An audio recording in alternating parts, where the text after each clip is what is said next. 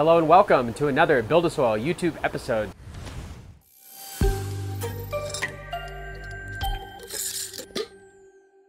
Today we have season 5, episode 8, and I'm pretty excited because things took really well to the transplant, which is all you really worry about when you're doing live demonstrations because you want it to go well.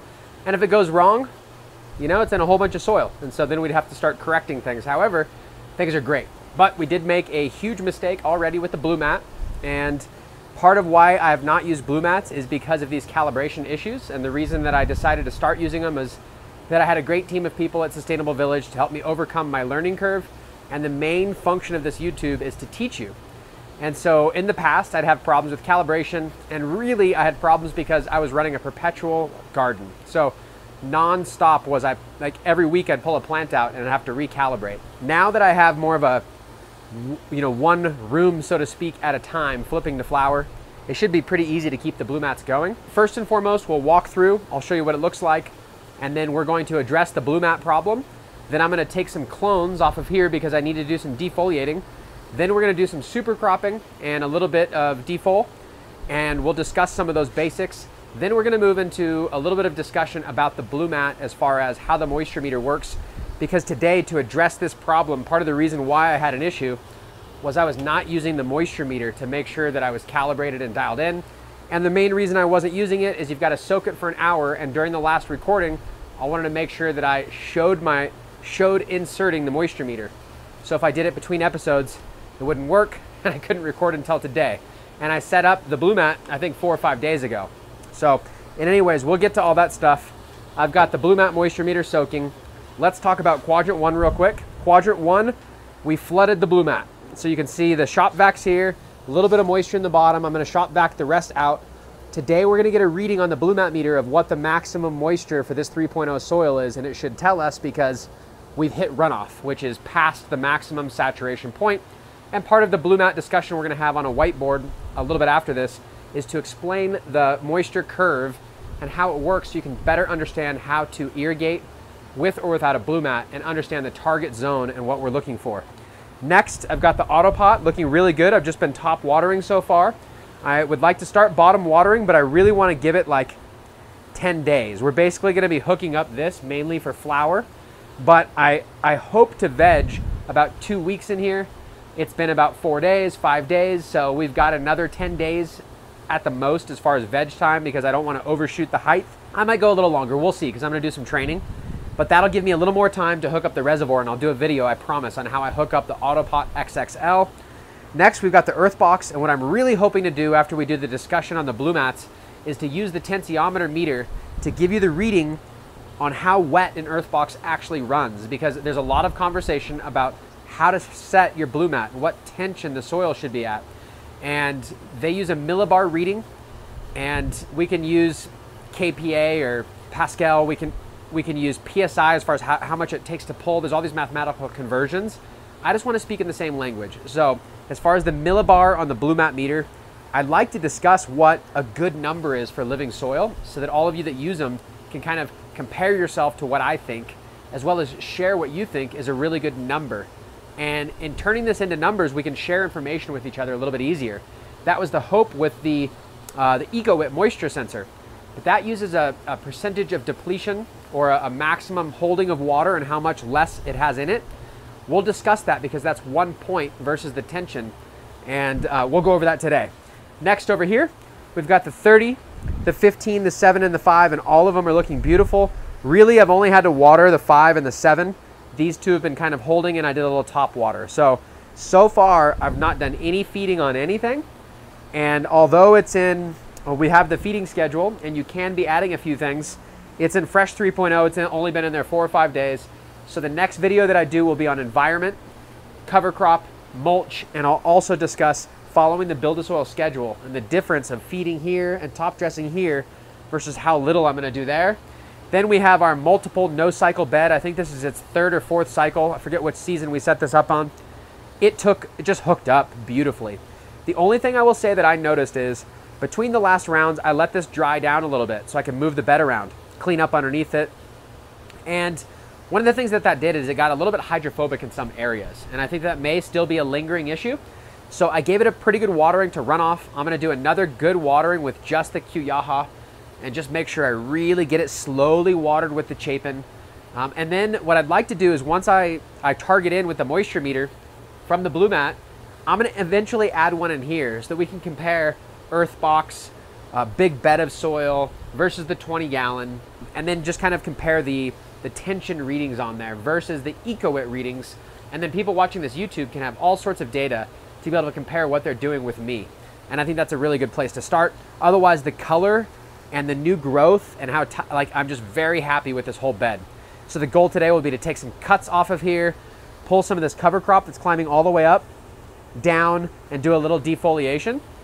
And then uh, we're gonna get to the, the Blumat final discussion. We'll go from there. So let's get going. First and foremost, let's talk about the Blumat. So if you've already watched the setup video, what I did was I set this up and calibrated it to a hanging drip, and then I moved it to one carat.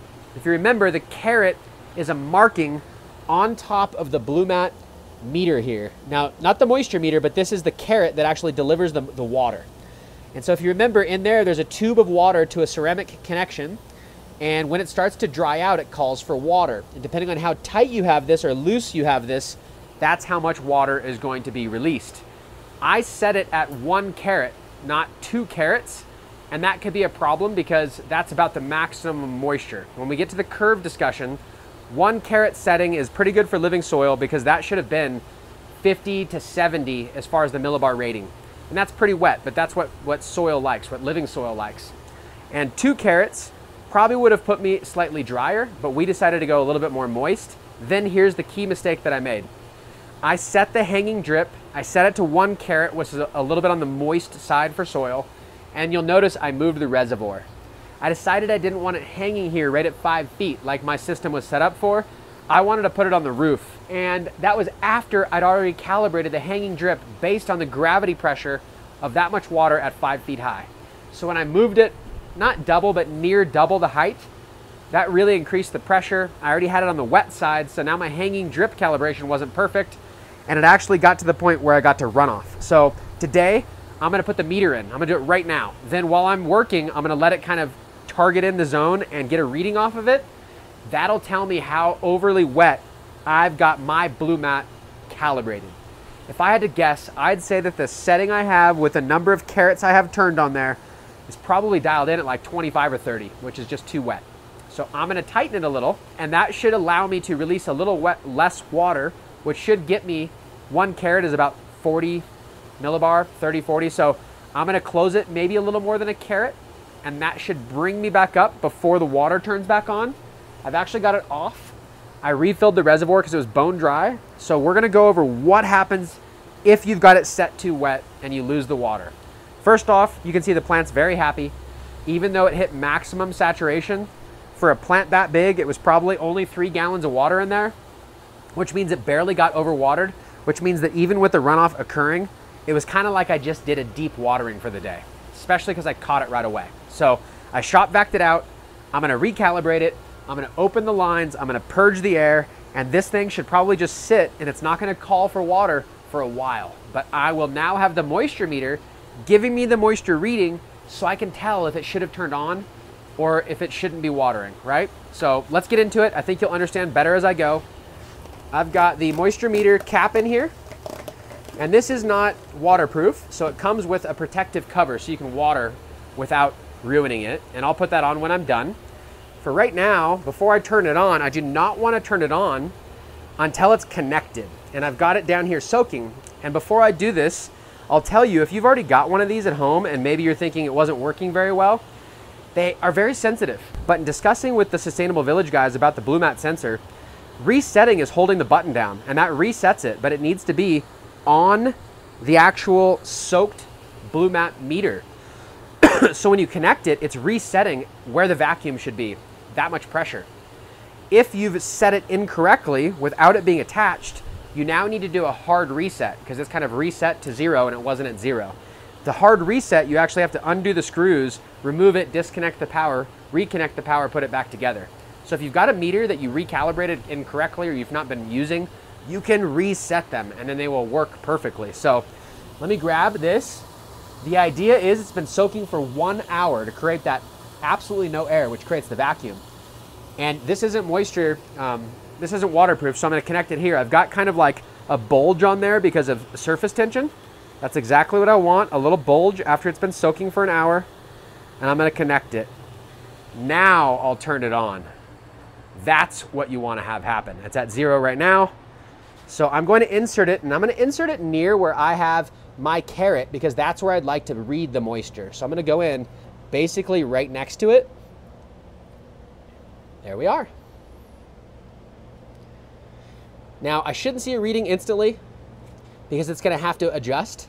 So I'm gonna go ahead and put the cap on. We're gonna let it calibrate for a little bit and then we'll get a reading off of it. Cap on. The other thing I didn't do in the original video, which is not that important in my setup, but it comes with some stakes and that will actually hold this in place. Before the roots get all the way out here, I'm gonna go ahead and just kind of lock this down.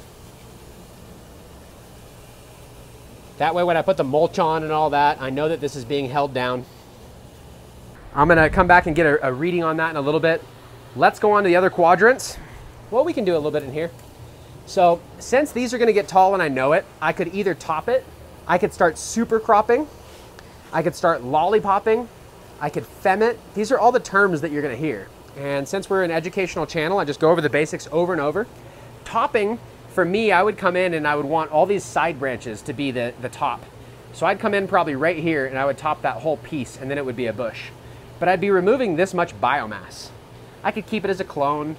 It might slow down my growth because I, I removed five, six inches of plant material, so it would have to regrow that much, that much biomass. I could also top just the top, but then that leaves a little bit of height up here I could top just the top, then I could super crop it to allow these to get taller. Here's the rule of thumb. When this top is below the others, the others get the hormone. So bending, topping, it all works the same. The FEM is the FIM, and that's typically on a much smaller plant because you can top really early, get the like the branched out shape, but without removing very much biomass. So if this was smaller, I would consider that, and you actually just go and you remove just the newest growth tip right there. And they call it fem or I missed it because a lot of times you'd be really trying to get just the newest top out and you might miss and get a little part. And then sometimes it'll grow like four tops instead of two or whatever. And it's just one of the methods. The next one is LST, low stress training. Some people actually take like a hook or string and tie it to the edge and they just bend it like this. It's called low stress training because you're not stressing it at all, you're just moving it and forcing it to react to that. I like a little higher stress training mainly because it's easier and I don't need tools. That's what I'm gonna do on all these plants in here instead of topping them. So this is gonna be the super cropping and it's the method I like the most. My goal will be to get this top lower than the side branches so the branches get that auxin hormone and they start growing to the top. That helps when you have a flat light canopy. We want more even branches flat we don't want like the Christmas tree shape like is good for outside when the sun is going around the plant, okay? So I'm gonna pinch right here. I'm pinching on the side, then I rotate and I go to the other sides and I pinch. And the idea is to be gentle here. I can feel this has got really good mobility. It's kind of rubbery and I'm happy with that. So I'm gonna go full boat. I'm going all the way down to a hard super crop. Now, when you're a brand new grower, you might think, oh my God, I just hurt my plant, and it might freak you out, especially if someone else does it for you and they don't tell you what they're doing. But this now means, because that's lower, that these are gonna shoot up in growth. And then what I'll do is I'll grab my scissors, and since I'm in here, I can do a little defoliation. I'm gonna pull off some of the big leaves. I'm gonna pull off this big leaf that's now sideways. I'm gonna pull off some of these lowers that are kind of like, not really a sucker, but like I don't need this to be production for me in flower. I'd rather the branch get taller. And so I'm gonna remove a lot of these little lowers down here. This is what they consider lollipopping because like a lollipop, it has a, just a smooth stick and all of the, the substance is up top. I'm doing the same thing here. I've lollipopped it all the way. I could do it all the way to the very top. I leave a couple up here because they are, have a great chance of being good flower producers. Next, I'm gonna go to the same thing. I'm removing. Now, you could remove just the sucker like that and leave the leaf because the leaf can receive light. I like to clean them out fully when I'm going down to the lowers like this. You can also pinch with your fingers. Many different ways to go depending on the plant. All right, that looks pretty good. I'm not taking much off. I'm just gonna leave this material in here. The earth box is gonna be covered and I'll be doing that soon with a top dressing and a plastic cover. I've got to put the plastic cover on soon because I need to like put it around this plant. If it gets the plant gets too big, I just cut a big hole in my earth box cover, put it on, and then I kind of tape it back together. So there's always a way. But that's essentially what I'm going to do to all these plants right now. So let me just get after it. I'm going to go ahead and do some super cropping. You can bend which direction you want it to go. Sometimes there's no preference, but I just want, you know, you can kind of control every little bit if you'd like.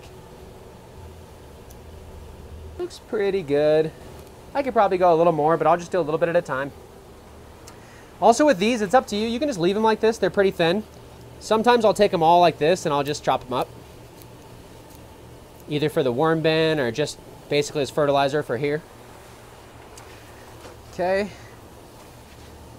Now, if your stem feels kind of woody or you feel it's hollow because it's growing so fast and you feel it snap, be very careful on the bend. You may want to kind of abort just do a pinch, come back for another day because you can snap the whole top off.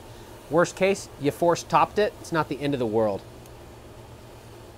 There we go. That should be good. This is the Fruit by the Funk, and I'm really enjoying this one right now.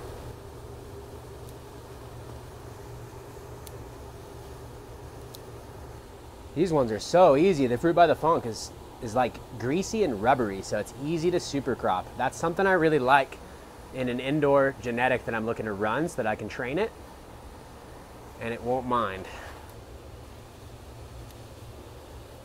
This one's getting bushy already, I noticed in the 30 gallon. Interesting. Some new growth is starting to throw longer.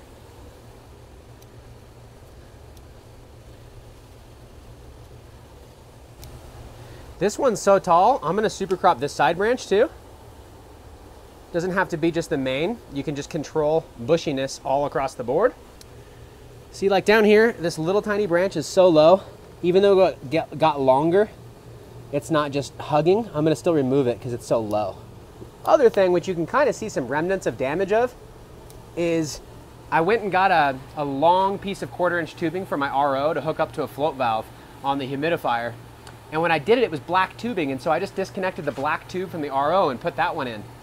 Well, that was the discharge for the dirty water. So I ran the humidifier full of water and then ran it for about a week with dirty water. And I came in here and all the leaves were white. I was like, what the hell? So I foliar sprayed them and I immediately caught the problem and fixed it. So lots of little problems. The key is to be aware and observant and you can, you can course correct. You can still have a really good run. I think the issues that we've had so far are very, very small, but they could have been big had we let them, you know, fester. I think that's pretty good for those. Let's do this last one here. Okay, that's all I wanted to do. Looks really good.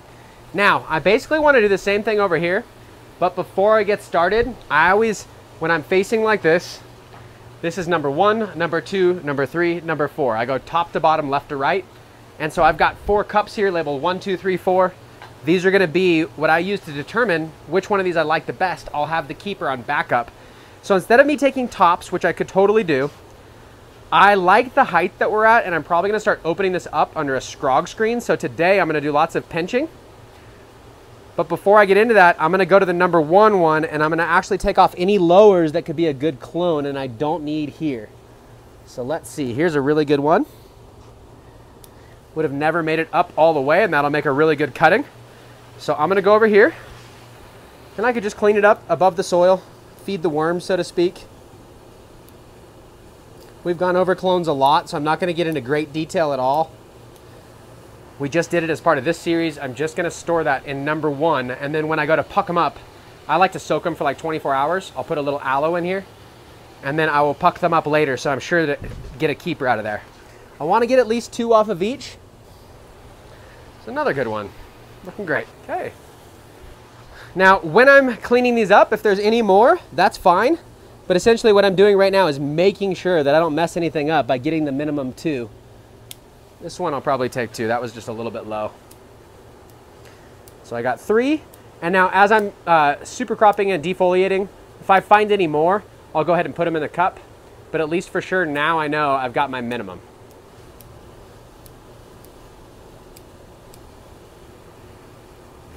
Now I'll take the number three. That one, see how the leaves are kind of crinkly? It's been so shaded, it was so low. That's not a good one for me. So I'm just gonna mulch that and I'm gonna find a slightly better one that's also still low. Here's one better example. One leaf got a little turned under. It just happens when they're fully vibrant, getting light, and then they get bushed out. But it still looks stout, so I'm gonna go with this one. Okay, that's the number three. That's a good one. It was just gonna crowd out and bush out here, so this will be one I take. Ooh, this one's loud. That's a good sign when you're just cutting them and they start to stink up. Okay. Now we'll go to the fourth one. Looks pretty good, but it's got a big angle on it. I'll keep it, but hate it when they're all angled. I don't know why. they grow out of it. Okay, fourth.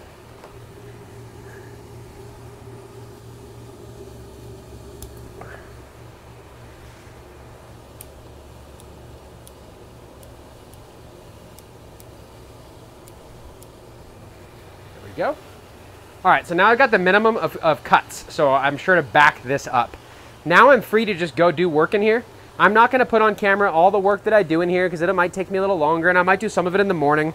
But the gist of it is I don't want these to keep getting bigger. And even though I already topped these, so it's, it's got kind of a bushiness going on, I'm gonna start super cropping all of these. Now, one of the benefits of super cropping is as they recover, where you pinch and bend, they recover into a big knot, like a callus. And supposedly they can flow nutrients through there. It's almost like when you stress yourself out working out, you now grow bigger muscles. When you stress the plant here, it's going to recover at that injury point stronger than ever. And apparently it can hold more weight, move more nutrients, all of the above. But see how bushy it is already? Now all these lowers are getting more light. I will defoliate a little bit in here, like some of the lowers, just like on the previous plants, are so low. I don't want them to rob growth or crowd out space. I'll try and keep it up top. That's what I'm gonna do on all of these. You'll see the recovery and you'll be like, wow, it looks great. So don't be scared. They bounce back so well to this kind of treatment. The only fear is if you overdo the super crop, maybe you snap one, but it's not the end of the world.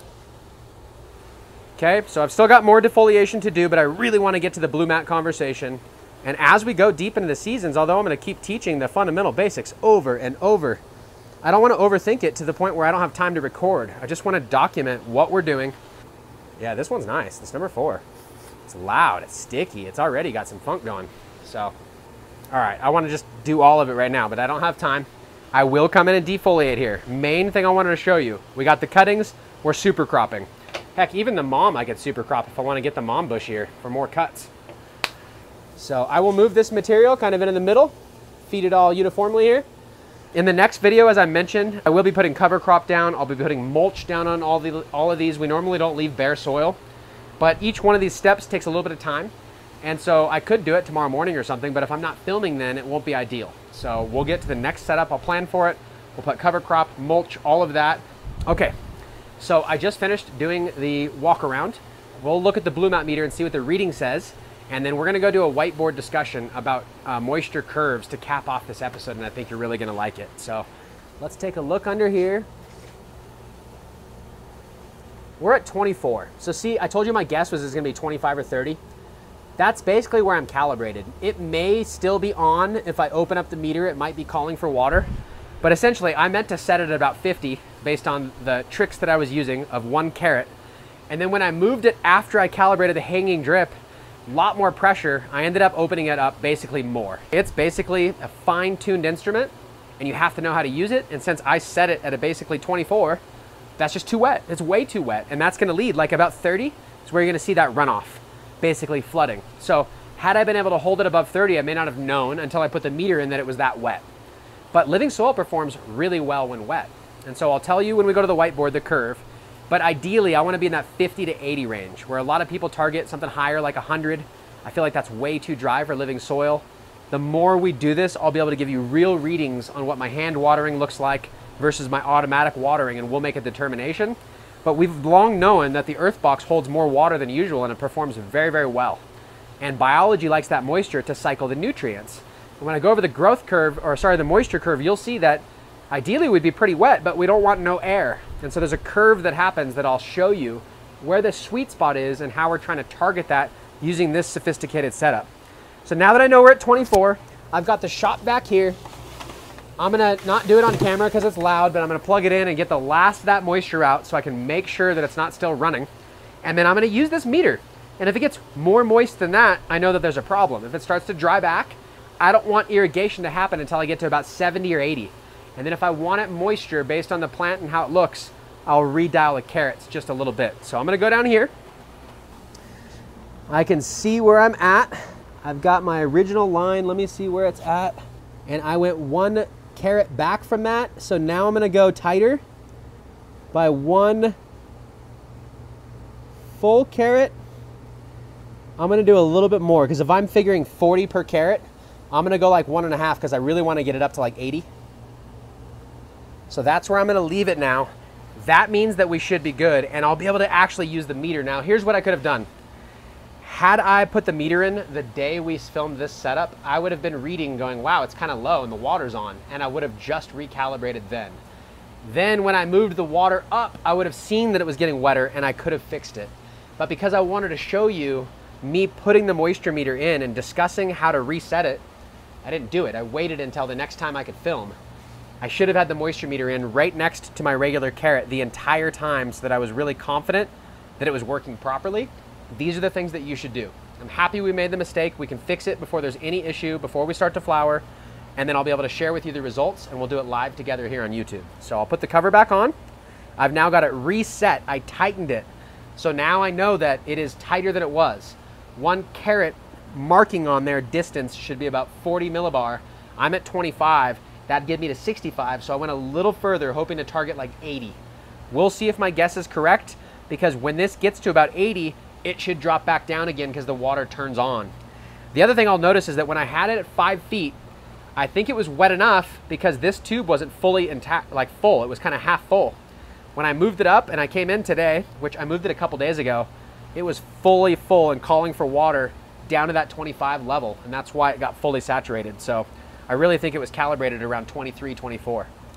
What I need to do last, now that I've set that up, is I need to reopen this. I just need to purge the air out because it ran completely dry up there. So I'm opening the line. Now that I've tightened that, it's not calling for water anymore. So I feel comfortable, nothing's running now. But now if there's air in the line because I ran it all out, I'm gonna purge the air out. Okay, I don't feel any air, but it should, has to come all the way down the line. There's the air. I'm pretty sure that that's enough, but I'm gonna do one more full just to make sure I don't feel any more glugging.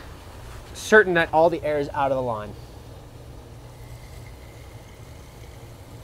Then I'll shop vac that out. Okay, I don't feel any more air. I'll let it full completely full. No glugging, there was just barely a tiny bit. I think I caught it right at the end of the reservoir there, so it barely got any air in the line. I've shut that down completely now. I'm gonna leave that out here, and then we'll just update you as we go. It's almost the best thing that could have happened because my fear, which, you know, you kind of manifest your reality when you think about things, my fear was that I'd flood it. My fear was that I'd flood it like in flower and I'd have no recovery. But in a 20 gallon, max capacity of water in there with a big growing plant, it could just power through it. If I had a fresh young seedling in a big bed of soil and it got over wet and I didn't notice it, that's how you can really get overwatered. So let's discuss that moisture curve. Let's go into the other room and we'll discuss the tail end of this. If you've got questions about the super cropping or about any other stuff, drop them in here for our FAQ videos. Otherwise, we're probably gonna have a lot of Blumat questions Let's hear the pros and cons. Let's hear what your ideal setting is as far as millibar. Watch the rest of the conversation while I go over the whiteboard with the moisture curve and we do all of the discussion. So let's get going. All right, so we're back and you might have noticed I changed clothes. The GoPro battery died yesterday when we were recording the end of the Blumat episode and I wanted to discuss the moisture curves based on our setting that we had calibrated as too moist. And now that we're using the millibar reading on the Blumat tensiometer, I want to discuss what that means, what a tensiometer is, and the moisture curve of living soil and what you can expect so that I think you might leave this video better understanding how to water your plant and how it affects our plants in the soil. So let me just get started. I'm gonna draw a basic graph and then we're gonna discuss some terminology related to it.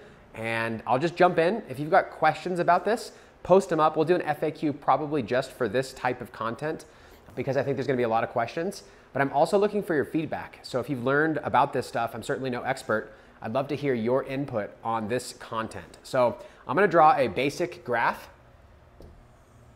and we're gonna map out a moisture curve.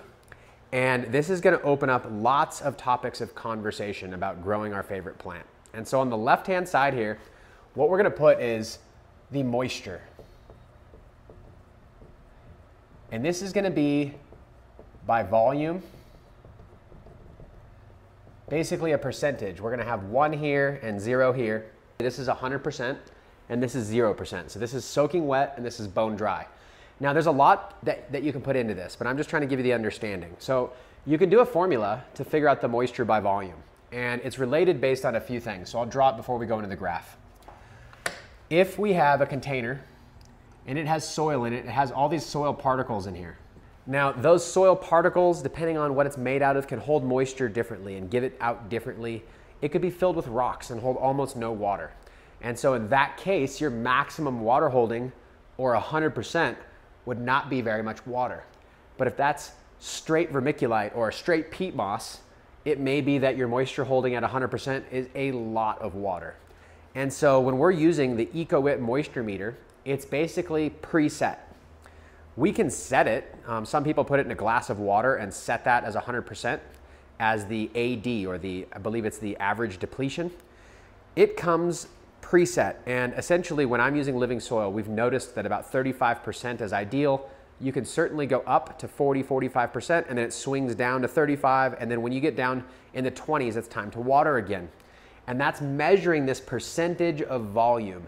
And so if we were to take living soil and we were to pour water in, it's basically going to be water and soil in here. And there's only so much that it can hold before it breaks out and starts getting runoff here.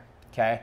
And that's what happened in our container. Now, in a living soil, before it broke down into my saucer and started to leak water, the, the holding point of this soil is somewhere around 30 millibar.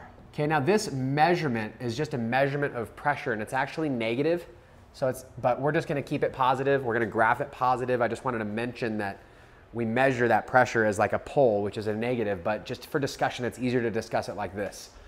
And so when we found out that I had set it too loose, and then I never put my moisture meter in to verify the moisture level, and then where I had set my hanging drip on the moisture meter, I actually raised my, my gravity fed bucket and that increased the pressure so it, it even skewed my settings further. So when you understand this stuff, you can dial in your Blumats and you don't have to be fearful like I used to be when I said, ah, the things can flood.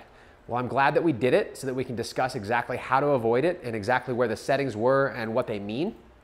Essentially, that is gonna be runoff at that point. And so we wanna be set higher than that. Down here is gonna be tension. And so what you must understand is that we're basically creating a vacuum and we're measuring the tension on that as the soil pulls water. So in this same here, we would insert a probe and that has the little reading. And that, as it drinks, it's pulling water out of here.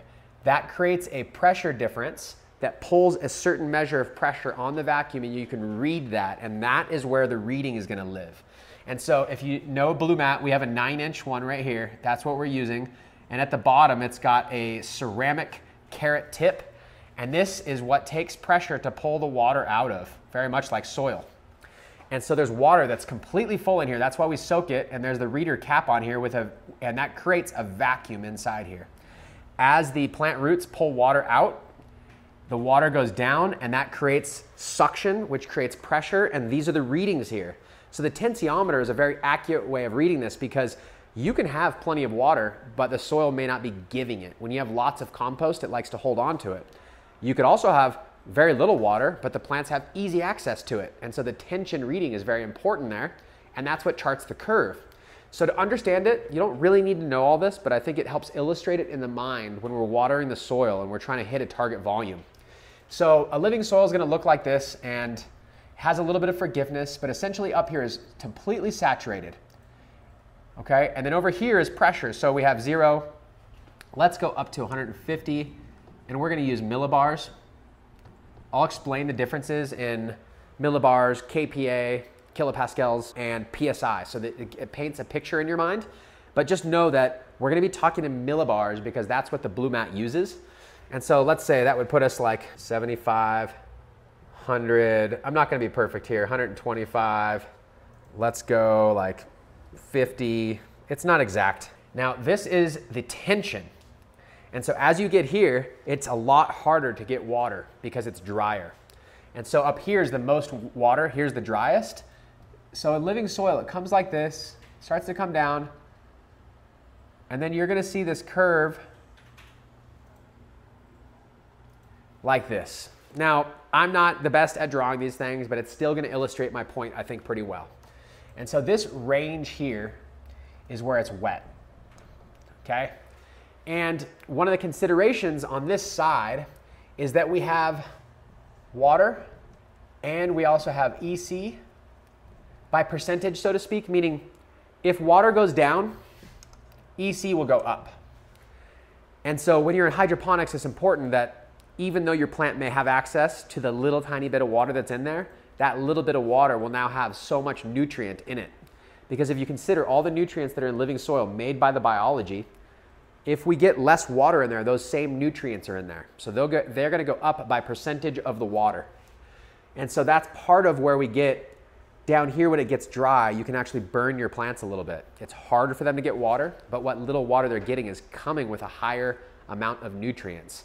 Part of why the EarthBox crushes so well is it stays in a nice target zone here where it's moist, but it has access to clean water all the time. And I think it's a real powerhouse.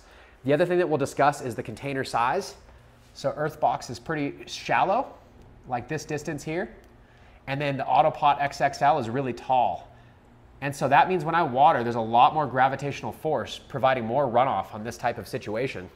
And also, if I'm bottom watering, it's a lot more gravitational force to pull it up to the top. And so that's something just to be aware of.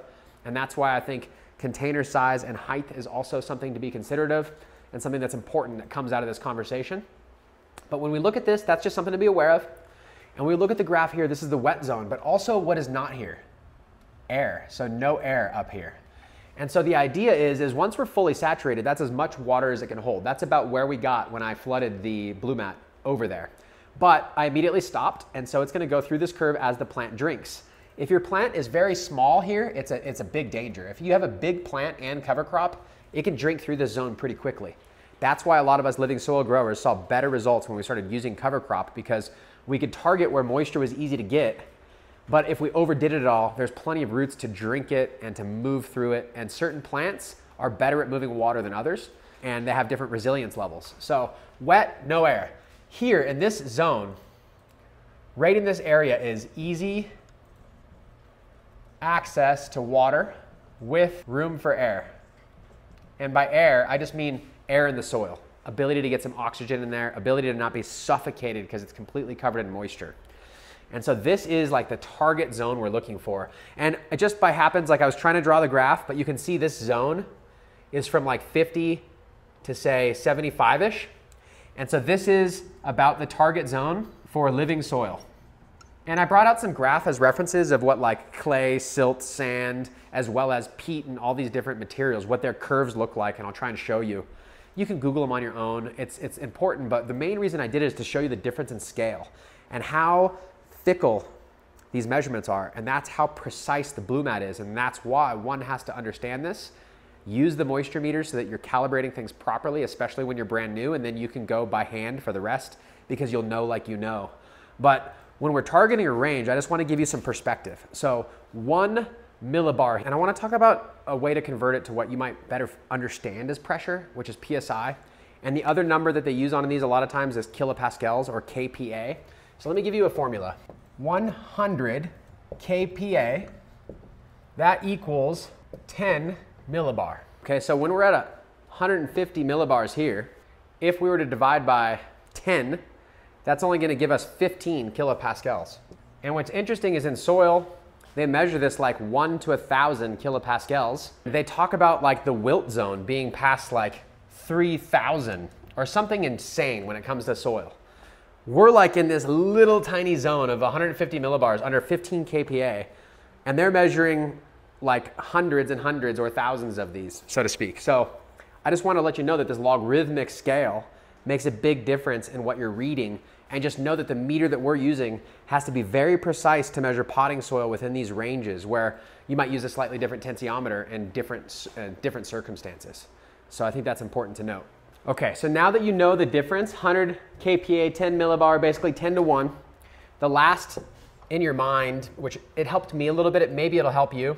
Let me see, I've got some notes over here. This is like 68.9, I just wanna get it right.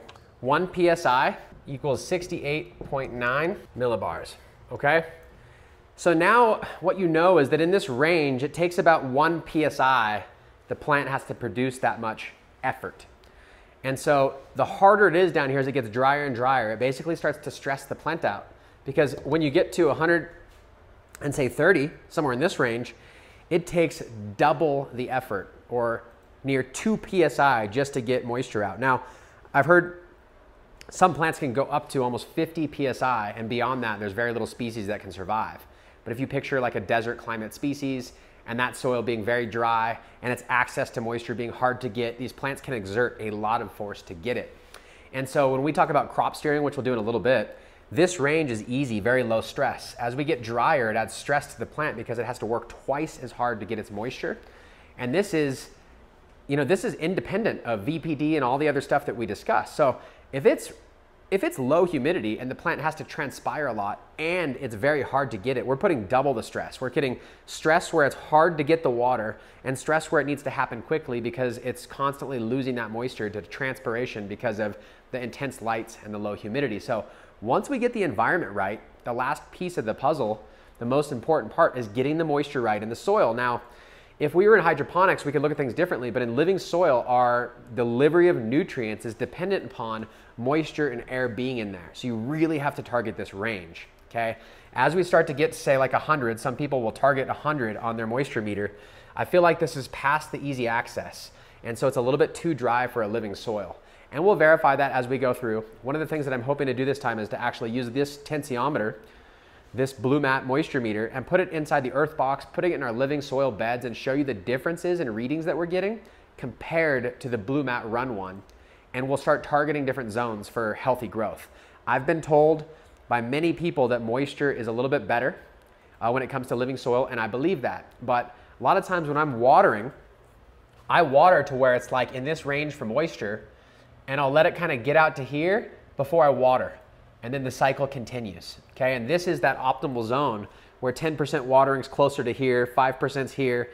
Those are just guidelines that I gave to help people that are learning to water living soil to target a zone where things are easy. Okay? One of the reasons why living soil is a little bit harder is we have lots of compost.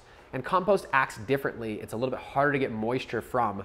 And so understanding that is probably gives you insight into okay, if I use tons of compost, I'm gonna have to be slightly wetter for it to get access to that water. But I need to have good drainage, which is why we use lots of pumice and rice hulls to make sure that we still have access to air when it's in that high moisture zone.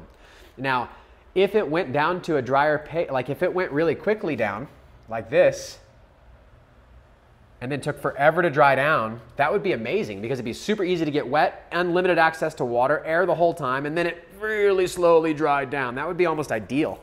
Rock wool is fairly similar to that, but Obviously, it leaves a lot as far as now we have to feed it. It's hydroponic. And so the curve that we're going to see more in soil is always going to look like that. And then this soil curve can be altered. And you can actually look up different ones based on wood chips and perlite and all these different things mixed with peat moss and see how the curve differs. But it always follows this similar path. And so one of the things you can see right away is that when we're at 24 on my reading right here, you can tell I just missed the mark. And when I set it to one carat and my hanging drip, I had the hanging drip just moving a little. You should have it completely off. It should be called a stopped drip, not a hanging drip. If it's hanging and growing still, it's not completely off, and that means you're on the, on the left side of this. You're a little bit more wet. One carat after the hanging drip should be in that 50 range. I think I set it probably to about 40. Then I moved my gravity up, and that really calibrated it to probably around 24, which is where it sat. And so I tightened it and I tightened it. The carrots are the, I tightened it on the top, which I showed you in the video, and I did it about a carat and a half in hopes to move the setting to about here. That's about as far as I'd like to go. So once I'm confident it's holding there, I'm probably gonna back it up just a little bit and live right here in this range, probably targeting the 50 to 60. And I'm gonna use my gut, my intuition, all my experience to tell you how I feel about this range as we start to see it happen over there in the 10 by 10 series. Lastly, we did discuss a little bit about container size, right? The EarthBox is shallow. A lot less pressure to wick the moisture up. So there's a certain point here where the wicking will stop because it's too dry. And if you go too dry out here, you can get where it's hydrophobic and the peat moss just will not take water. It will not wick it, and that can be a problem. I think in the 4x4 autoflower tent, I'd let it get a little dry. I think I got a little bit of dry back, so I'm really gonna water slowly with some saponin to make sure I get through that. What happens when that happens is you get this increase in EC. You can burn your plants even though you just watered and you're wondering why. dig around and you notice the soil's dry. Even though you recently watered, you could have dry pockets. So using a wetting agent, which is why we've always promoted that, the yucca, the Q, makes a big, big difference when we're trying to keep things saturated evenly. That's one reason why you don't want to go out too far. Now, people do what's called crop steering. Now, there's many implications to this. A lot of people take into consideration feeding and all sorts of stuff, but crop steering, essentially when it comes to drybacks, is a way to add stress to the plant. And stress is gonna cause it to fend for itself, create more of the compounds that we're after. But we wanna do it in a way that's kind of like raising children, where you stress them properly, meaning you show them that they're able to do their job and work hard for it, but you don't just throw them to the wolves. And so in the vegetative period, we wanna live in this easy area and just baby them. But as we get to flower, a lot of people, what they'll do is they'll actually push it up in this range. And then let's say you adjusted your carrot, you can always come back and readjust so that instead of it having unlimited perfect water first thing in the morning when the lights are on and it's just cranking, all of a sudden it's like, whoa, I may not have as much water as I think. Almost tricks the plant into being a little more stressed out. And then you can come in and relieve that and trigger it back. And it goes, okay, I thought I was gonna be a bad spot, but it looks like I have resources. And so we're inducing stress, but we're not actually trying to get any wilt or anything like that because we don't really want to stress them. The other thing is that, you know, water, nutrient, all that stuff, it has to be in this target zone because things are pumping when you're going through stretch, when you're going through the beginning of flower. But as you get towards the end, it doesn't need as much. And so we can make it work slightly harder and induce a little bit of that stress, but we're also keeping it from being too much in this zone simply because the plant is not drinking as much, which means that it's not going to cycle as easily through here. So we want to avoid this top level when the plants slow down on drinking, either because it's a seedling or because it's later in flower. We want to be more in this zone. And so that's essentially what crop steering does is we're trying to do little drybacks to trick it into thinking it's getting stressed, but not really stress it. And so you can tell that going from here to here is like doubling the amount of PSI that it takes. That plant actually has to work hard for it. And then we say, just kidding, you're fine. So that's part of that process. Um, other things that we did, we discussed the Blumat carrot, what it looks like, how it works when it pulls, creates the vacuum pressure. That's the reading that we're getting. Normally when you see these curves, there's thousands on here. Like, let me see if I have this one. So this one is a thousand bars or a hundred thousand kPa, and that's at the dry zone, and it's got clay, loam, and sand on here. So you can look these ones up, and then they have their moisture numbers over here. Well structured versus poorly structured will have a little bit of a different effect on there. And then you can see the curves. The clay is gonna take a lot, it's gonna stay wet longer, it's gonna be harder to dry out, where the sand is gonna be wet, but then dry out much quicker, and then slowly dry out. But we're in this range here of bars of like, I mean, right here, it's just so different than numbers. When you're going to 100,000 kilopascals, we're like way off the chart. So this meter measures specifically in this range that's really good for soil, and I wanted to explain that. Uh, I got a couple other curves. So one of them was from a video. I think the guy is Science in Hydroponics really good. I got a lot of information from here, from Izzy. Thank you for driving out here and showing me some of this stuff from Sustainable Village, um, as well as other, there's various white papers that talk about the big differences in moisture retention curves and all the effects that it has. So you guys can geek out on this if it's something you're interested in. Um, this one has peat, pine bark, coco coir, vermiculite, perlite, rock wool, all sorts of different curves that are on here. Some stay wet longer, some dry off uh, right away, and you can see the differences. This one's peat, core, perlite, pine bark, shredded pine wood, but you can see the different curves on here and how they're affected. These are a little bit better in color. It's easier to see the graph, so Google some of those if you have any interest in this stuff. So we talked about the crop steering, we talked about the target zone. I really think this wraps it up. If you've got questions about this stuff, put them in the video. Otherwise, thank you so much for following along.